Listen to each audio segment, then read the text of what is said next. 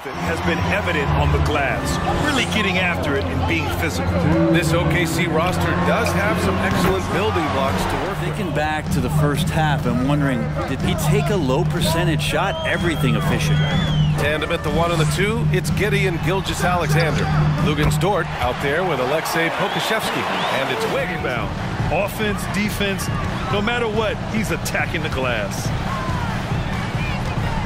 Nice move. Ooh, and a nice layup by Giddey. Giddey's gotten his third basket of the night. Well, the talk at halftime must have been a good one. Right now, three straight buckets to start the quarter. Ooh, it's stolen. And here's the fast break. And there's the slam. Dunk to finish it off. And Dort has a nose for the bucket.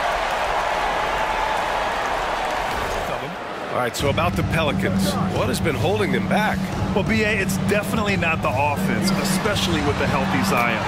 If they can, yeah, they've collected an impressive number of steals so far, using fast hands to force some turnovers and then scoring on the other end. Well, if we add another thing to it, it's about the urgency they've played with. I mean, you look at the eyes of these guys; they're focused, wanting to get up tempo, and that's helped. Pass by Donovan Mitchell to a ready shooter, and his focus as a distributor has really improved. Here's Giddey. One up, one down. Two points with his first shot this game. And once he got to the 10, I think he was surprised to find himself that wide open. I think defensively, that is not. He's certainly been a consistent piece of their offense, averaging about 14 and a half points a game. Clock is at three. Latre and the Thunder, another three. The defensive pair in the post, Mobley and Allen. Darius Garland is out there with Mitchell. And it's LeVert in at the three spot. It's good from long range. Giddey's got 11 points. Now this is going out of hand. They are rolling. Giddey against Garland. Dort kicks to Wiggins. On the wing, Giddey. He's got 11. And here's Gilgeous-Alexander outside. Score the basket. He really gives this team a physical presence. Oh, I like this guy, B.A. I mean, very strong, very aggressive at both ends. He makes a lot of hustle plays. I mean, that's a nice find by Murray. He has the height to see the floor, and his awareness continues to grow. And the Hawks going from the they're playing great team basketball. It's good movement and sharp, crisp passing. And that one's good. Giddey. Terrific play. This is why Dort grabs the miss. Oklahoma City has got five of seven threes to drop here tonight. Giddey with it, and it's Young picking him up. Dort for three. Buries it from three. Inexperience on the roster right now.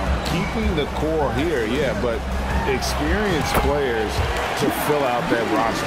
Denver Nuggets.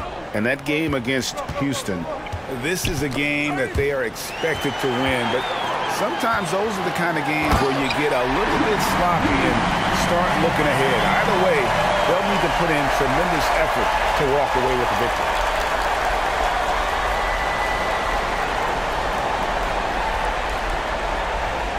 Offensive load.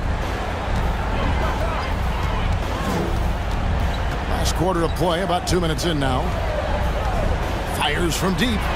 And the Thunder, another three. Oklahoma City has gone 7 of 15 from three-point range tonight. They're not afraid of that shot. Wiggins outside. Outside, Dort puts up a three. And again, Oklahoma City with the triple.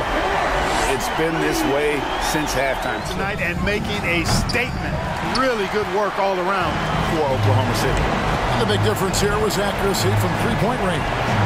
And once they started sinking shots, they really stretched out the D and created other opportunities. And anytime they got space, they seemed to just knock down another triple.